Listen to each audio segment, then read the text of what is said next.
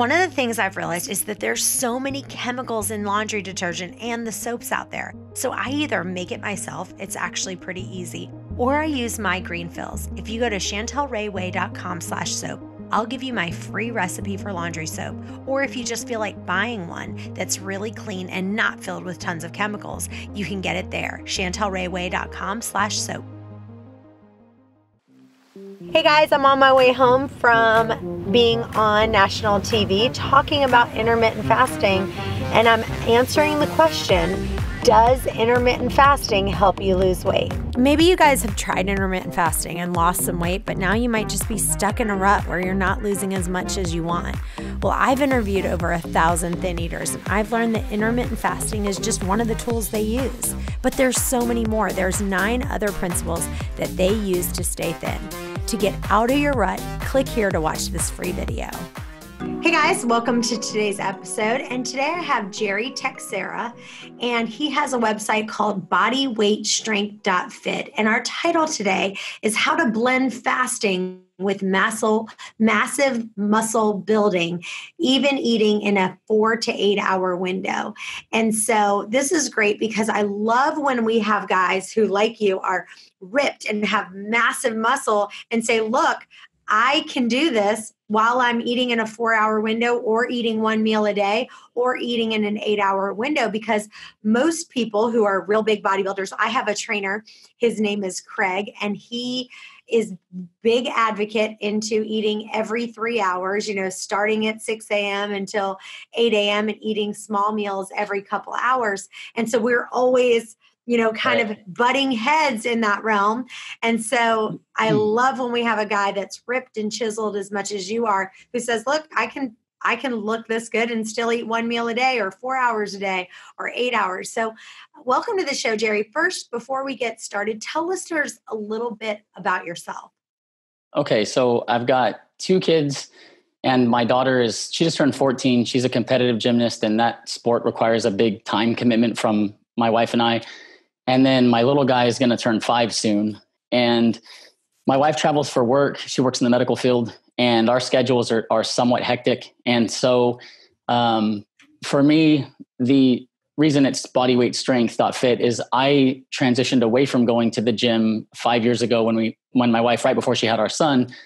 Um, just because in the time that it takes to drive to the gym and back and wait for equipment, I can get an entire training session done.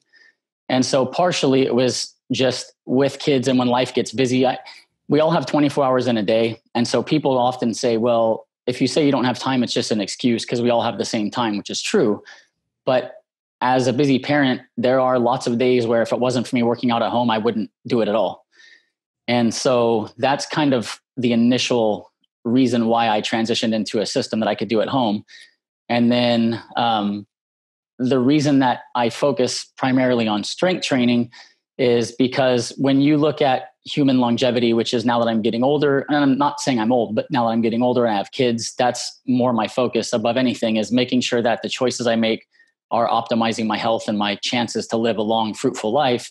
And strength training is strongly correlated to human longevity. In the blue zones among centenarians, it's actually just as strongly correlated as as diet or any of the other things that they find. And I know a lot of people don't know how to strength train properly. And so my goal was basically to give a free resource that teaches you how to effectively strength train without equipment. So you don't have to buy weights, you don't have to have anything shipped to your house. Um, so that that's pretty much where it came about. And then um, 10 years ago, I read a book called The Warrior Diet. And at that time, I was six meal a day gym guy type thing going on. And when I read The Warrior Diet, it, it wasn't true intermittent fasting when I read that, but it is grossly under eating during 20 hours and then having like a four hour eating window. So I started with that. It worked really well. And then just a few months after that, I started to read about the eight and the, the, the eight hour window versus the four hour window. And I expanded to eight and I dropped the little bit of food during the fasting window. So it was a true fast. And then from there, over the years, I went 20 and four. I've done one meal a day. I've done eight hours, and it, pretty much any kind of intermittent fast or time restricted eating setup you can imagine. Um, I, have done inside of that that uh, inside of that you know 24 hour period. That's awesome. So I'm getting ready to go on we have our president's club trip where we take all of our top performers in our salespeople so we're going to have like 20 or 25 people come to this president's club trip and we're all going to cabo and i'm going to be in a bikini so i myself want to lose you know maybe five pounds obviously all my clothes fit me well but I, you know when you're going on a trip like that you want to really look toned and really looking good. So I decided to do one meal a day just for the next two weeks uh, for until we go on this trip. So for me, what would you suggest? So we have a lot of listeners out there. It's starting to become, you know, people are going on spring break, they're going on vacation. If someone came to you and said, look, you know, I've got two to three weeks and I want to kind of chisel down in those weeks, what kind of advice would you give that they would kind of hmm. do to keep keep themselves chiseled? for the next couple weeks? Um, okay, so exercise and physical activity can help you obviously build muscle, stimulate muscle growth, but they can also increase the amount of energy you expend so they can help you lose weight. Where it can be a double edged sword is that in certain people, exercise actually reduces appetite, but in some people, exercise increases appetite. And so if you're and and it's not because we're all bio individual to a degree, it, it's not like one size fits all. So what I would say is you can always increase your activity level some. Um, and if you do that and you're not someone who overeats to compensate, then that can help you in the near term. Um, the thing you have to watch out for is people with very high activity levels for a time period you lose weight more efficiently but your body adapts and so that's one thing I always caution people is if you, you, your diet and the way you set up your eating is what's going to help you to stay lean for a lifetime, not so much your exercise, even though that can be a tool. Because if you start out and you're doing, for example, 30 minutes a day of exercise, at some point the body will have adjusted various things and you're not going to get the same, you still get health benefit, but you're just not going to be losing weight or increasing fat loss the way you did at one time. So what, so what I would say is if you are not already exercising at a high level, it's safe to go ahead and add some additional physical activity to help you meet that goal. And then on the flip side of that, you can adjust the amount of dietary energy you eat so you can eat a little bit less. But what's really important there is not to reduce your protein intake. And in fact, maybe even increase your protein intake. And that would be because in, in every study I've ever seen and there may be something floating out there that I haven't seen. But when you look at the total body of, of evidence, when they compare diets head to head, a higher protein variant of whatever diet's being compared always comes out ahead in terms of weight loss and fat loss. And so if you're going to eat less, whether you're, you know, keto or fasting or whatever the case is, you want to be very careful that if you cut an additional meal out or you compress your eating window, that you don't eat less protein, you just eat less carbohydrate and fat. So you eat less dietary energy but you don't reduce your protein. So that, that would be the single most important piece um, would be to keep your protein intake adequate. And if it's not adequate, get it there. So, and you are very built. I mean, I can just tell that you've got a lot of muscle on your body. And so, when you were doing just one meal a day, it sounds like that's what you were just really concerned about is yes, I'm only eating one meal a day. I'm able to keep this muscle that I have because of the amount of protein I'm eating. And I hear what I'm hearing you say is that as long as you're getting the right amount of protein, it doesn't matter if you're getting it, you know, in this many you know smaller meals you're still getting that protein in so you're not losing muscle because your body still has that protein to eat off of. Is that did i say that right? yeah, yeah what happens is um there there's you always got to look at what you're optimizing for and most people are not so if you look at a bodybuilder they're optimizing it's not even about health. I'm sure that most of them do care to a degree about their health but they're trying to do everything possible to build more muscle at, at essentially any cost up into whatever point. Maybe they're a natural bodybuilder, so they don't do any like, you know, pharmaceuticals. Some of them do extremely risky stuff, right? Because again, they're optimizing just for muscle growth.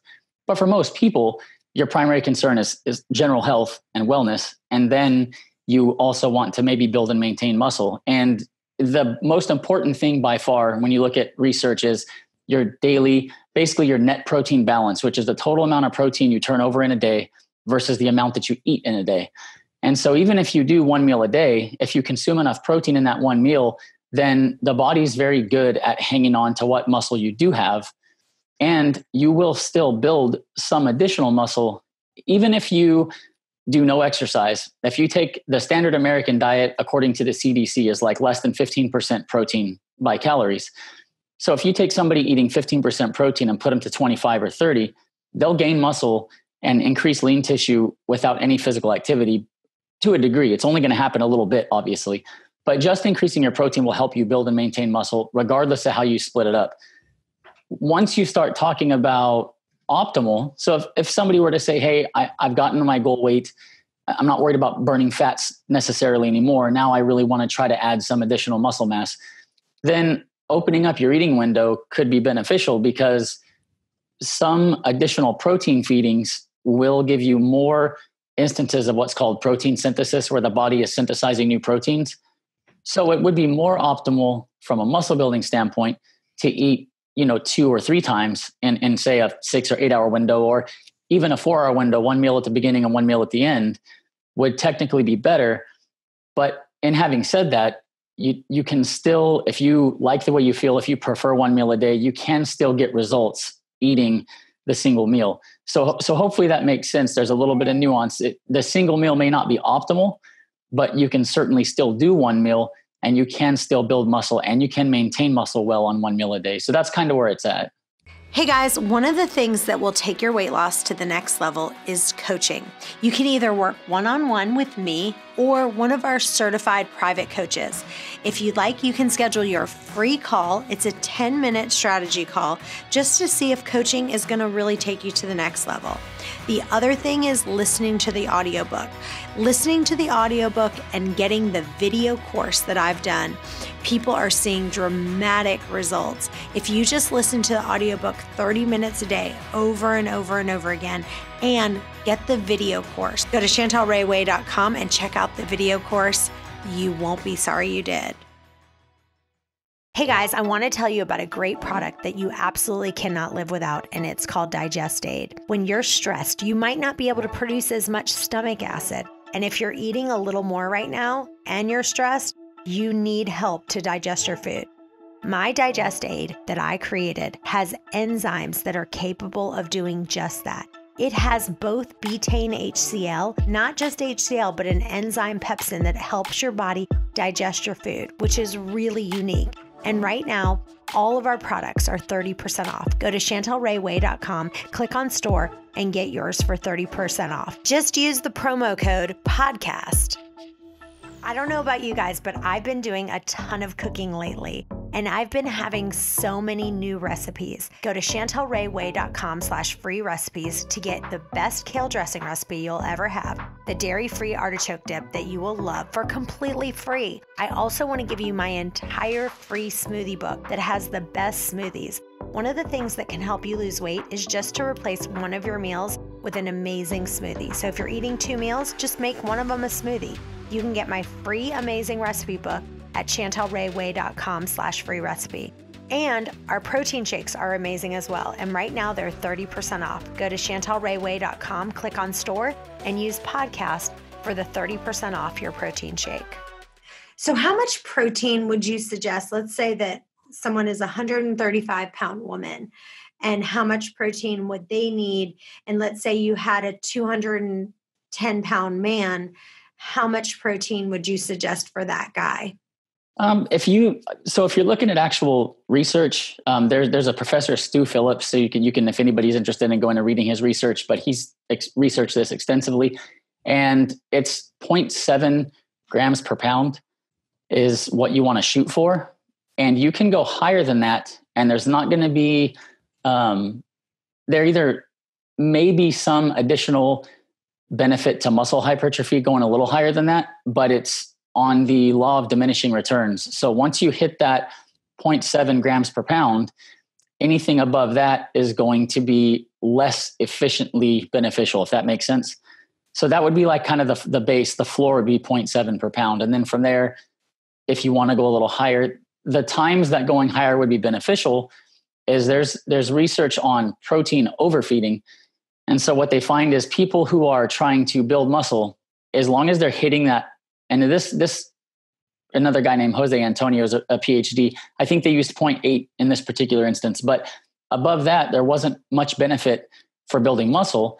But as protein went higher, up to I believe it was 1.2 grams per pound, as the as a percentage of your total food intake, fat loss was better than it was at the lower protein intake. So to try to make sure that's not confusing, if you're trying to lose weight, increasing your protein to one gram per pound of body weight, for example, it would likely yield better fat loss results than being at 0.7 or 0.8. But for muscle growth, 0.7, 0.8, um, there's not a big benefit going above that. You're better off to add more carbs or fats if that's like your primary goal. So if I wanted to gain some muscle, which I, I don't really try to, I mean, I'm happy where I'm at. I don't really train for that. I just train for strength and endurance these days. But if you wanted to gain muscle, I would say if you're hitting 0.7 or 0.8, you're good. Eat extra fat, eat extra carbs if you happen to eat carbs.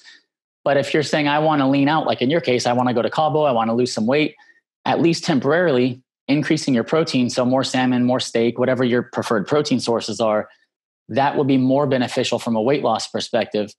And the reason is that protein has a higher thermic effect by a, by a little bit. I mean, it's not massive, but has a higher thermic effect, meaning it costs your body more energy to metabolize the protein than it does carbs or fat. So maybe it's only to the order of like 80 calories a day worth of additional energy spent. But you can, the satiety on protein is generally high. So you can feel satiated. You're not as hungry if you eat additional protein and then that little bit of you know extra energy expent digesting the protein at the end of a month you're talking an extra pound maybe a pound and a half but you know you do it for three or four months and all of a sudden you've got an extra four pounds of fat which occupies a good amount of volume. So it may not sound like much but increasing your protein intake can help you from a satiety standpoint but also from a fat burning standpoint so if it was at 0.7 grams per pound, someone who was 135 pounds, that would come out to about 94 grams of protein. And then if they wanted to do one gram, obviously that would be 135 grams right. of protein per day. If a guy was 210 pounds, if it was 0.7, that'd be 147 grams of protein. And if they were wanting one gram, that'd be 210 grams of protein. So that's a lot of protein. I mean, I yeah. I would say I don't know very many people who are probably eating that much protein. So, what would you say are if some really good protein sources that you would say, okay, here's some really good protein sources, and how much protein is that taking? Is that giving you? So, if you eat um, a fattier cut of meat, all animal sources of food, eh, with the exception of some dairy, is is essentially going to be high protein. Um, if you look at like a sirloin steak, that would be a, a fairly lean cut of red meat. That would be somewhere in the neighborhood of seven grams of protein per single ounce. So you can, if you do something like sirloin or white fish, would be salmon's also very high in protein, but you have some more fat per gram of protein. So per volume, a lot of whitefish is high in protein. Obviously, chicken. M- most meat products are going to range between five, if it's very fatty, to around seven grams of protein per ounce of meat if it's leaner. So if you're eating one meal a day, um, a, a 12 ounce sirloin steak, or maybe a you might have to go a little bit bigger, but a good sized sirloin steak could cover you for pretty much your entire day's protein for most women. So you can definitely get it in, um, but you'll just have to prioritize protein when you sit down so that if you start to get full, you're not leaving half of it, you know, on the plate. And then the more meals that you eat, the obviously the, the smaller protein feeding each time. So it, it gets to be a little less filling and maybe a little easier to accomplish if you have a, you know, for example, a four hour eating window, you could have half at the beginning and half at the end and so then you're getting that you know if it's 12 ounces of sirloin for example or, or maybe it's 16 ounces for your body weight you're doing two eight ounce servings which isn't too bad. It's more manageable. So that that was for me the biggest obstacle with a one meal a day was just that i would have to eat an somewhat uncomfortable amount of food where after i ate i just wanted to go to sleep.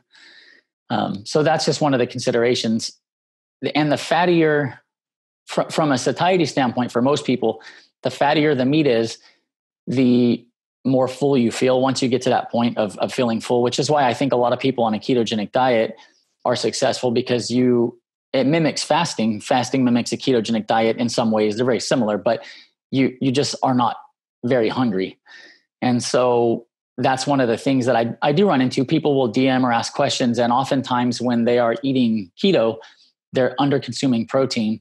And it's not often by a lot, but a lot of times there's an extra 20 or 30 grams of protein a day we need to get in. And whole food's always ideal because you're getting micronutrition in there that you're probably not getting in a protein supplement.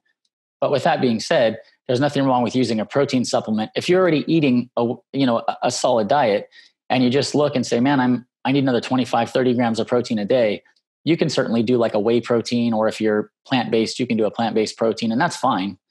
Um, either one of those types of things, or Greek yogurt, you can buy Greek yogurt that's very high in protein and is not, you know, overly filling. And so you can use something like that to help make up the difference versus just eating more of whatever it is that you eat. You can always use a protein supplement. And now let's talk about just on the weightlifting side of things. Let's say that someone is going to the gym i know for me let's just say chest press. So mm-hmm. let's say i'm you know doing chest press i'm doing the same weight over and over. What's some good ways to kind of continue to increase that weight that it's you know are you saying you know do more reps? And or are you saying look try to go a lot more weight and do less reps. What are you seeing that really helps build that muscle um, so there's a there's a lot of different you know programs and different programming and all this stuff out, out there. And the the what there's some principles that they call like granddaddy principles which are like tried and true and are the most important element of a resistance training program or um, an endurance training program. Really the kind of program doesn't matter so much but the most important thing to, to remember whenever you are, are going to do an exercise program is the the basically the tenet of progressive overload. And all that means is that humans are adaptive organisms and the way that we force cellular adaptations is through external stress. And so what happens is if you do the same exercise and let's just say like you're talking about maybe it's a, a chest press or it's push-ups and you do let's say 10 and at, at number 10 either with your body weight on a push-up or at the gym with whatever weight you're using you can't get past 10. So that's like as many repetitions as you can do at that weight. If you just do those same 10 chest presses or same 10 push-ups every day, you'll get an initial adaptive response at the cellular level. So, you know, whatever um, whatever increase you're going to get in cardiovascular fitness or in strength, you're going to get that. And once you achieve that, you're not going to adapt anymore. So if you did that same exact thing for the rest of your life, you will make zero additional progress.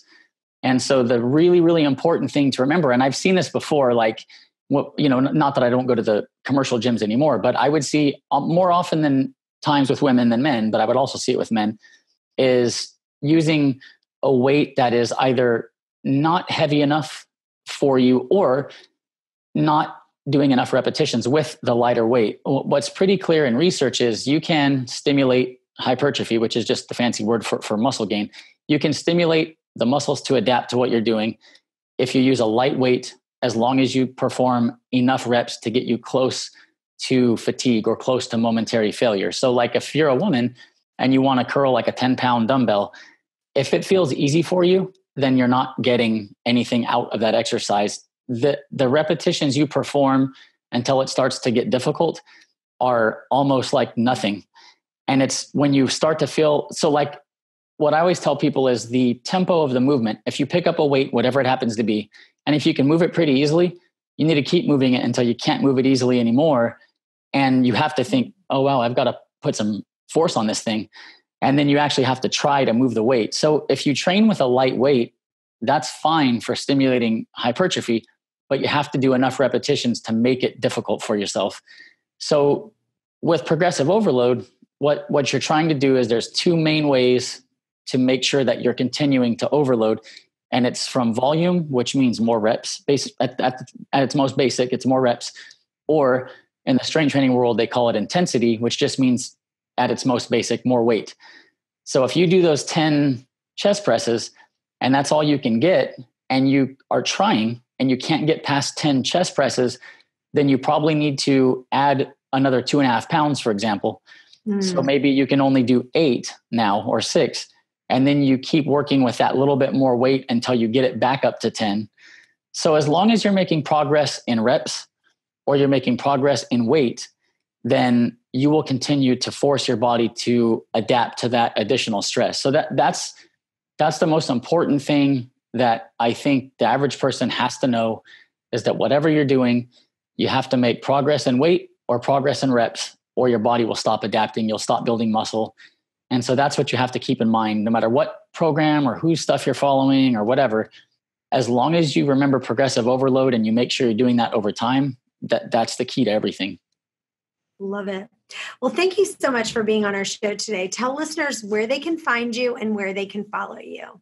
Okay, so I have a site. It's bodyweightstrength.fit, and that will direct you to. I have a YouTube, which is because exercise is very visual. That's where I post everything primarily, and I've got complete training sessions from beginner to intermediate to more advanced. And if you go to the YouTube and you click on on the homepage for for my channel, if you go down, there's an introductory video that will explain how the channel works. I don't have to do it here but then if you go down, there's a playlist that says complete workouts, and you can mm-hmm. click there and then choose either beginner or the next one. And I'm adding new workouts, try to add something new at least monthly, videos every week. But everything's organized by playlist, and every exercise to include push ups or squats, I start at absolute beginner for someone who's never exercised in their life. So we'll start with push ups against the wall to help you build the base to be able to take your push ups to the ground. So even if you've never exercised, if you don't know what the heck you're doing, if you're super self conscious, I tried to structure the channel to take. I have people that are like, oh, my 70 year old mom finally started working out. I hear stuff like that a lot. And the whole reason is because I started it with the absolute Gradually. beginning. You graduate. Yeah. Yes, exactly. And so that that's kind of where I started it. And then I have links on there to my social media pages so people can just click and if Twitter or Instagram or whatever, if they care to follow those places, they can. Love it. Well, you guys stay tuned because we have another episode coming up in just a minute. And always remember if you have a question that you want answered, go to questions at chantelrayway.com. We'll see you next time. Bye bye.